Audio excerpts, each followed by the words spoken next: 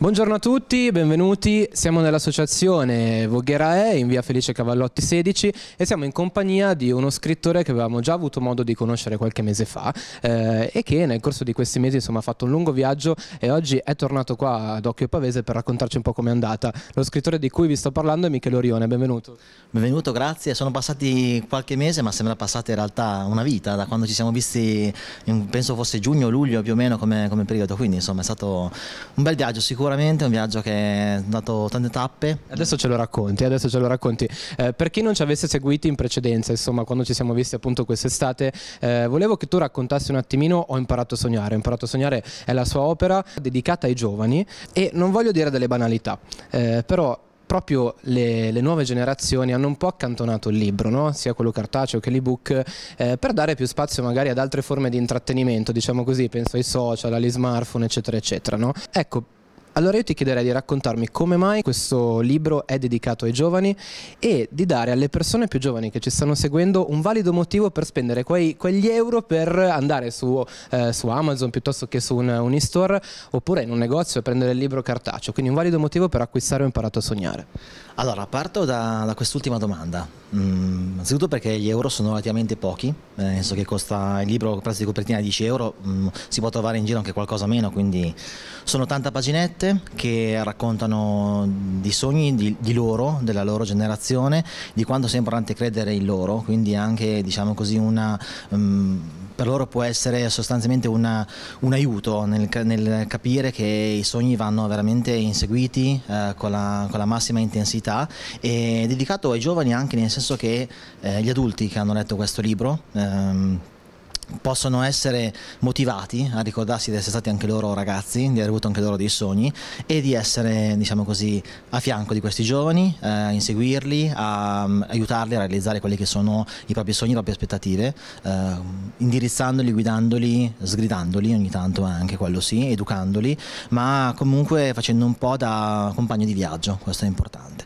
Eh, io ho deciso di scrivere questo, come lo chiamo, romanzetto, eh, sia per le dimensioni eh, piccole che ha diciamo così, il testo, perché sono 80 pagine, sia per una questione affettiva, l'ho chiamato così, sto chiamarla così a giugno e diciamo che è stata una, un, diciamo così, una, una, cosa abbastanza positiva, ha parlato abbastanza bene, diciamo così.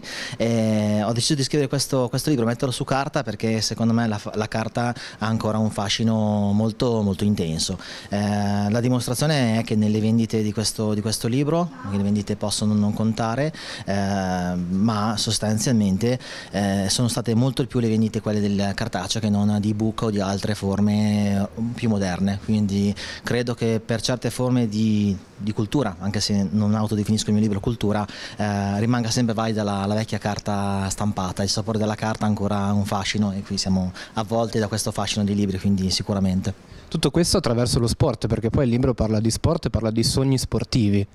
Ma eh, sì, sport, grazie per la domanda, eh, mi piace molto poter rispondere perché in realtà lo sport mm, in questo libro è una metafora di vita. Eh, io ho cercato di dare degli insegnamenti mm, banali, semplici, non mi permetto, non, ho, non, sono così ambizioso da insegnare qualcosa ad altri, ma parlando di sport, eh, di quelle che sono le vittorie, le sconfitte, eh, il gioco di squadra, il rispetto delle regole degli avversari, eh, credo che lo sport sia veramente maestro e metafora di vita. Eh, in questo caso lo sport di cui parlo è la pallavolo, di cui sono appassionato ormai da 15 anni, seguo in ogni sua forma, quindi eh, ho voluto dedicare questo romanzetto appunto a, allo sport e alla pallavolo, lo sport come insegnamento ed è fondamentale lo sport nella crescita non solo fisica ma anche umana, mentale delle persone. Ecco, l'hai detto prima, tu hai definito quest'opera un romanzetto e tu ti definisci non uno scrittore ma uno scrivante. Ora mi chiedo, è eccesso forse di umiltà oppure ti tornano un po' scomode le etichette? Guarda, entrambi, nel senso voglio raccontarti un aneddoto, eh, nel momento in cui ho pubblicato anche per eh, necessità commerciali eh, che il mio libro era in testa alle classifiche della mia casa editrice, eh, che ringrazio, approfitto ancora per ringraziare. Eh, diciamo il nome della casa editrice. Sì, casa editrice Chimeric, una casa editrice che da 18 anni eh, è una bellissima realtà della microeditoria italiana e che mi ha seguito veramente come se fossi un, un pargolo da allevare, è stato veramente un... ringrazio ancora tutte, tutte le ragazze dello staff eh, Gianfranco, tutti quanti. E quando appunto ho pubblicato questa, questa, notizia, anche per esigenze commerciali, perché ci sta anche quello, eh, il commento più bello che ho ricevuto, a parte i complimenti, è stata quella di un'amica che io cito sempre, eh, che mi ha detto si vede che c'era poca carta per i camini e siccome fa freddo andava accesi i camini. Ecco, questo è il commento che mi piace di più perché racconta un po' anche come sto prendendo questa avventura, come la sto vivendo. Sicuramente qualche salto di gioia, qualche brindisi ci sta perché comunque sono soddisfazioni, non lo nego, però rimanere sempre piedi ben ancorati a terra perché altrimenti si rischia di, di cadere dall'alto. Ecco, tutta questa umiltà, ma poi in realtà lo scorso anno è andato veramente tutto molto bene, perché pensate che eh, tra i tanti libri editi proprio dalla Chimeriche che ha citato eh, poco fa, Ho imparato a sognare è stata l'opera più venduta, più acquistata nell'arco dell'anno appena finito, durante il 2016. E questa eh, richiesta sempre più crescente eh, ti ha portato a girare un po' tutta l'Italia. Come sono andati questi ultimi mesi rispetto all'ultima volta che ci siamo visti? È stato un, uh, un sogno, se posso dirlo parafrasando il titolo del libro. Ho imparato a sognare. Ho imparato a sognare e come dice mia mamma, eh, che ogni tanto cito anche lei, ho imparato a viaggiare, nel senso che mi ho imparato veramente in giro, viaggiare già avevo imparato prima, ma in questi ultimi mesi mh, ho avuto l'opportunità davvero di conoscere, di, rivedere tanti posti bellissimi, da Napoli a Conegliano, a Pistoia, a Roma, insomma ho fatto un bel viaggio, eh, l'ho fatto sempre con lo spirito di, di divertimento e soprattutto con lo spirito di tornare poi a casa, non dimenticare da dove, da dove si parte, qualunque sia il viaggio, qualunque sia la sua intensità, il divertimento del viaggio, è bello non dimenticare mai da dove si parte e poi tornare a, tornare a casa, quindi tornare in mezzo agli amici, tornare in mezzo alle persone che comunque mi hanno sostenuto fin dall'inizio.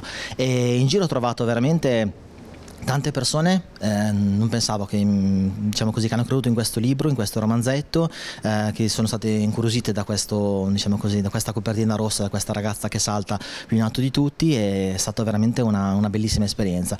Il viaggio non è ancora finito, ci saranno ancora un paio di tappe a sud, eh, tornerò a sud, eh, caloroso sud probabilmente in Sicilia e eh, quasi sicuramente in Puglia e poi penso di concludere la, diciamo così, quello che chiamano tour eh, a Torino al, al Salone del Libro quindi farò una presentazione lì e, insomma, e poi ci saluteremo, ci concederemo.